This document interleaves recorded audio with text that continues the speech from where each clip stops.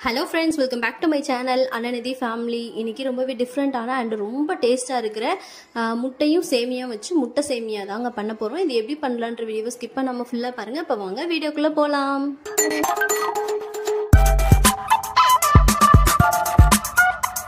First இந்த recipe செய்கிறதுக்கு ஒரு காலாய் அடுப்பில் வச்சுட்டு நம்ம எந்த அளவுக்கு சேமியா எடுக்கிறோமோ அந்தளவு சேமியாவும் ஒரு கப்பில் மெஷர் பண்ணி எடுத்து வச்சுக்கோங்க. இப்போ நம்ம சேமியாவை மட்டும் லைட்டாக வறுத்து விட போகிறோங்க லைட்டாக கலர் சேஞ்ச் ஆகணும். அது மாதிரி வறுத்து விட்டுக்க போகிறோம் இந்த மாதிரி வறுத்து விடுறதுனால சேமியா வந்து ரொம்ப குலையாதுங்க கரெக்டாக வந்து உதிரி உதிரியாக கிடைக்கும். அதனால தான் இந்த ஸ்டெப் செய்கிறோம் இந்த மாதிரி லைட்டாக கலர் சேஞ்ச் ஆகணும். அது மாதிரி வறுத்து விட்டுட்டு இதை தனியாக ஒரு பிளேட்டில் ஆற வச்சுருங்க.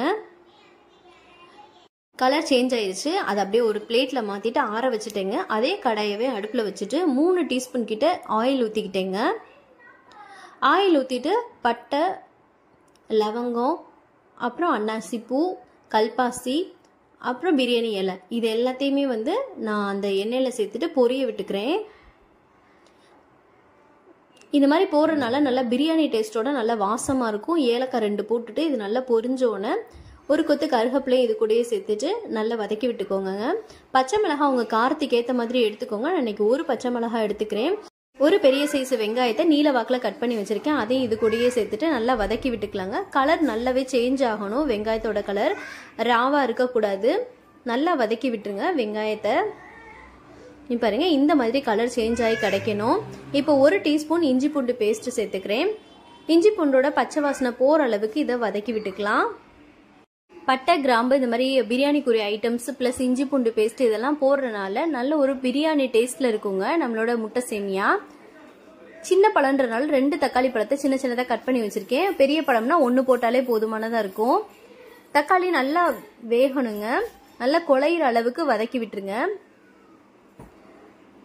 தேவையான அளவு உப்பை இந்த ஸ்டேஜ்லேயே போட்டுட்டு நல்லா வதக்கி விட்டுக்கலாம். நல்லா மிக்ஸ் பண்ணி விட்டுடலாம் தக்காளி நல்லா குலைவா சாஃப்ட் ஆகிறதுக்காண்டி ஒரு அஞ்சு நிமிஷம் மூடி போட்டு மூடி வச்சிடலாங்க.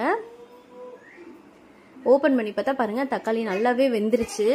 தக்காளி நல்லா மசிஞ்சு குலைவா கிடச்சிருக்குங்க. இந்த ஸ்டேஜில் மசால் பொருள் எல்லாமே போட்டுடலாம். கரம் மசாலா அரை டீஸ்பூன் போட்டிருக்கேன். மஞ்சத்தூள் கால் டீஸ்பூன். தனி மிளகாத்தூள் காரத்துக்கு ஏற்ற மாதிரி போட்டுக்கோங்க. நான் ஒரு அரை டீஸ்பூன் கிட்ட தனி மிளகாத்தூள் சேர்த்துக்கிறேங்க.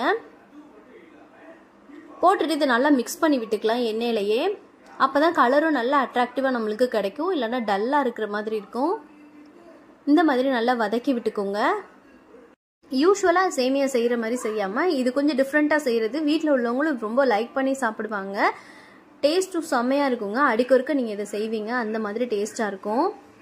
நல்லாவே வதக்கியாச்சுங்க. இப்போ நம்ம வறுத்து எடுத்து வச்சுருந்தோம்ல அந்த சேமியாவை இது கூடயே சேர்த்துட்டு நல்லா மிக்ஸ் பண்ணிக்கலாம்.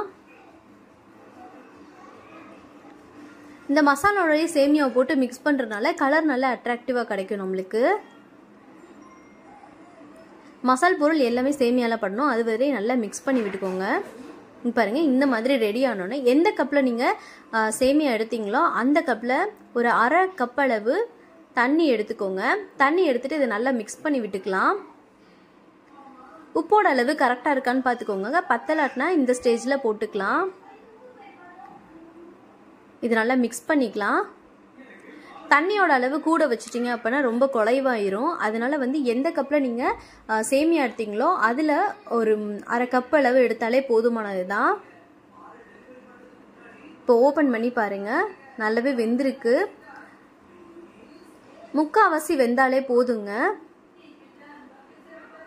எனக்கு முக்காவாசி பதத்தில் வெந்து கிடச்சிருக்கு. கொஞ்சம் இந்த தண்ணி சத்தெல்லாம் குறைஞ்சோன்னே நம்ம முட்டை சேர்த்துடலாம். மூடியை ஓப்பன் பண்ணி கொதிக்க விட்டிங்கன்னா தண்ணி எல்லாம் வத்திரும் இந்த மாதிரி கிடைக்கும் உதிரி உதிரியா. இப்போ நம்ம முட்டையை சேர்த்துடலாம். ஓரமாக ஒரு சைடை ஒதுக்கி விட்டு முட்டை ஊற்றலாம் இல்லைன்னா இந்த மாதிரி குழி கூட நம்ம முட்டையை ஊற்றிடலாம் இந்த மாதிரி ஓரமாக எல்லா சேமியாவும் தள்ளி விட்டுட்டு நடுவில் ரெண்டு டீஸ்பூன் ஆயில் ஊற்றிக்கிறேங்க முட்டை பொரியறதுக்காண்டி.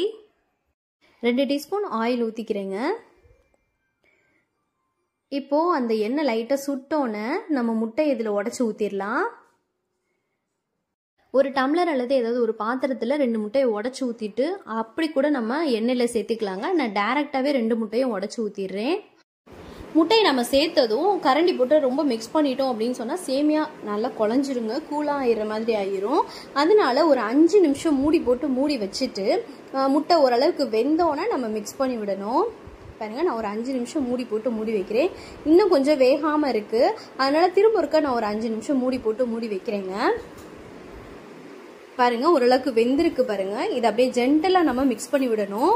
ரொம்ப ஜென்டலாக பண்ணணும். ரொம்ப ஃபோர்ஸாக வந்து மிக்ஸ் பண்ணிட்டோம் அப்படின்னு சொன்னால் உதிரி உதிரியாக நம்மளுக்கு கிடைக்காது.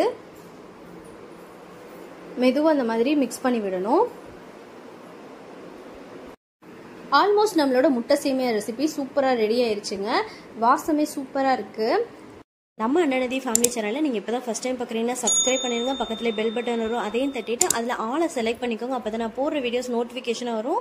ஈஸியாக என்னோட வீடியோஸை நீங்கள் பார்த்துக்கலாம் அவ்வளோதாங்க ரொம்பவே சிம்பிளாக அண்ட் சூப்பரான முட்டை சேமியா ரெசிபி ரெடி ஆயிருச்சு. இந்த ரெசிபி உங்கள் வீட்லேயும் செஞ்சு பார்த்துட்டு எப்படி இருக்குன்னு எனக்கு கண்டிப்பாக கமெண்ட் பண்ணுங்கள் இந்த சேனல் நீங்கள் இப்போ தான் ஃபஸ்ட் டைம் பார்க்குறீங்க இந்த வீடியோ உங்களுக்கு பிடிச்சிருந்ததுனாலும் மறக்காமல் லைக் பண்ணுங்கள் ஷேர் பண்ணுங்கள் இங்கே பாருங்கள் இப்போ நான் டேஸ்ட் பண்ணி காமிக்கிறேன். லுக்கே எவ்வளோ அட்டகாசமாக இருக்குன்னு பாருங்கள் டேஸ்ட்டும் ரொம்ப சூப்பராக இருந்துச்சுங்க. சூடாக சாப்பிட்றதோட லைட்டாக ஆற வச்சுட்டு சாப்பிட்டோன்னா நல்லா உதிரியாகவும் இருக்குங்க. டேஸ்ட்டும் சூப்பராக இருக்குது டேஸ்ட்டு தெரிஞ்சு சாப்பிட்ற மாதிரி நல்லா இருந்துச்சு. இந்த வீடியோ உங்களுக்கு பிடிச்சிருந்துச்சுன்னா மறக்காமல் லைக் பண்ணுங்கள் ஷேர் பண்ணுங்கள் கமெண்ட் பண்ணுங்க. நம்ம அண்ணனதி சேனலை சப்ஸ்கிரைப் பண்ணாமல் இருந்தீங்கன்னா சப்ஸ்கிரைப் பண்ணிடுங்க இது மாதிரி இன்ட்ரெஸ்டிங் வீடியோஸ் நிறைய இருக்குது தேங்க்யூ ஃபார் வாட்சிங் வீடியோ